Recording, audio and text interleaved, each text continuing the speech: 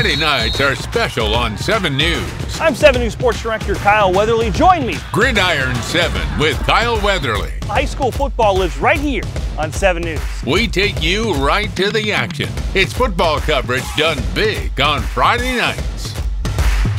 Gridiron 7, sponsored by Classic Lawton Chevrolet.